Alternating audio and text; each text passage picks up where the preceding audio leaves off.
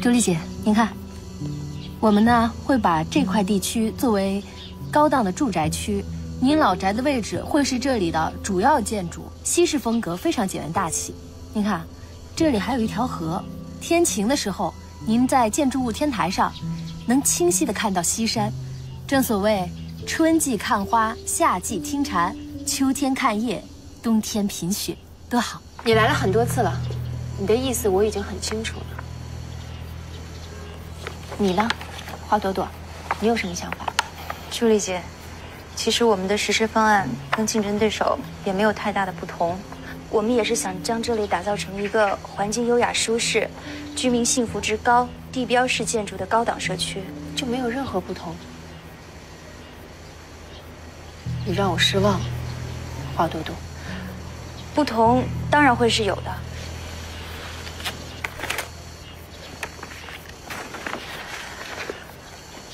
我们的这个方案是希望将您的这个老宅的原貌完全的保留下来，周围的建筑完全配合您的这个四合院，当然，内部还是需要改建的，要适合当代人的居住，外观就是要这种古朴风貌、怀旧的味道。我还有一个个人的想法，还没来得及跟老板汇报，就是我想将来在这个老宅给您留一套 VIP。您可以随时回来居住，朱丽姐，如果您更倾向于保留老宅的原貌的话，我们随时可以改图纸，那价格我们依然是翻番的。图纸我是有版权的，我们可以请国际最有名的设计师，版权的事儿我们不操心。你们的意思我都明白了，今天我有事要外出，不送了。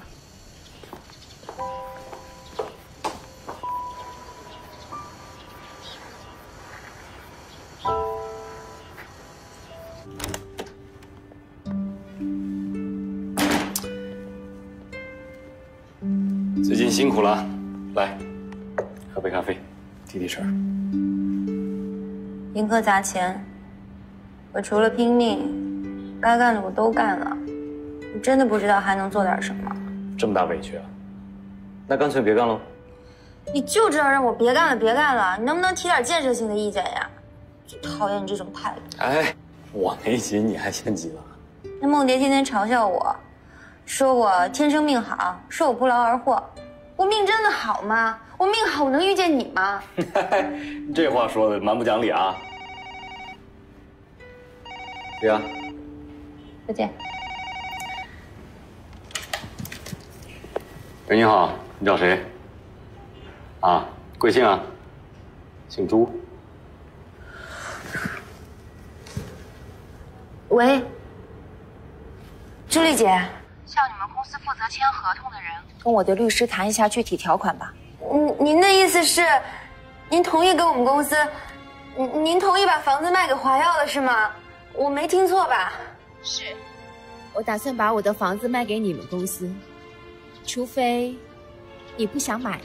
我我们想，我们想想想，特别想。房子脱手后，我打算离开北京。您去哪儿啊？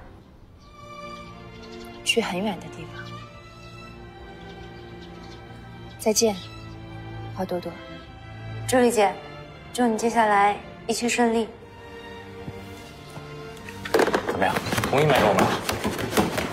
我成功了！哎，多少钱？那得你去谈。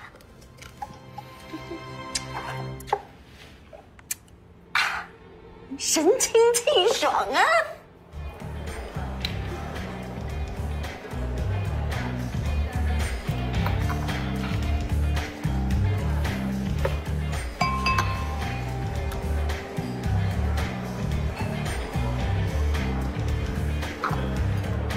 不用费心了，咱俩没戏。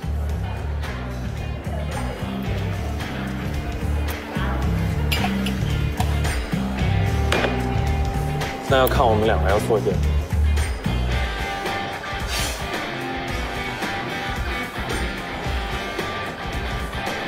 你是男的吗？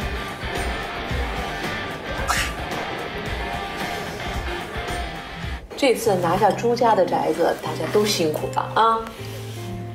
朵朵，我问过盈科的人，那个梦蝶呀，背着贺文华承诺高价，但实际上盈科根本没有那么多钱，所以还是你走运。我命好嘛。你可不能抹杀朵朵的功劳啊！她为了堵那朱莉，差点被车撞死。还好意思说这个呢？哎，你别说一套房子了，就是十个大宅子，能抵得上你一条命啊？要不说有时候你啊，就是太愣了，不管不顾的。哎，我特别想采访一下你，你怎么想的呀？真想同归于尽啊？有你什么事儿啊？八卦的要死。就是。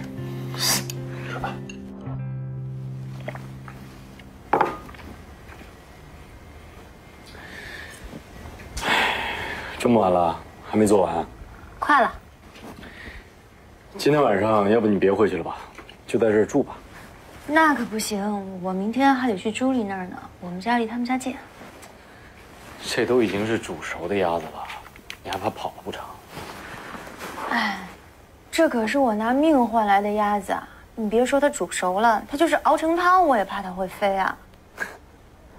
傻瓜，赶紧做吧。我为这个项目付出多少心血，你心知肚明，结果却让花朵朵这个蠢货抢了这个便宜，我咽不下这口气。所谓结果和过程是变的，在大盘子里，许多结果其实是过程。朱莉的四合院算不了什么，让你不舒服的是贺总对你支持。你别得寸进尺啊！你与贺总实在要做出一个决断，你我既然选择同盟。我们就必须把这段关系理顺。如果你当真一切以贺总利益为先，那我也崇拜你爱情至上，无话可说。只是贺总恐怕不这么想。你不需要挑拨我跟贺文华的关系。这用挑拨吗？这不是尽人皆知吗？你凭什么那么大底气？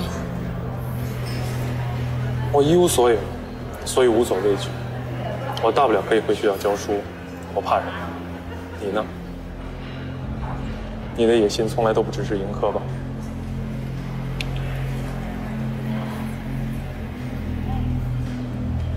你说过我们很像，所以我应该相信你吗？我们是利益关系，是同盟。在这个世界上，只要你够强，就有足够的信任。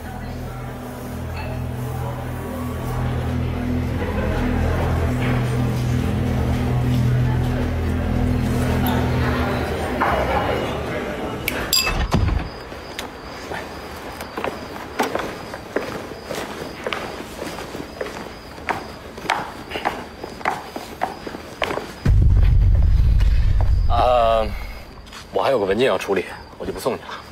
嗯，那你刚才还看电视，还让我留下来？突然想到了，要不然我让小峰来送你吧。不用，那你记得早点休息。嗯，那我走了，拜拜。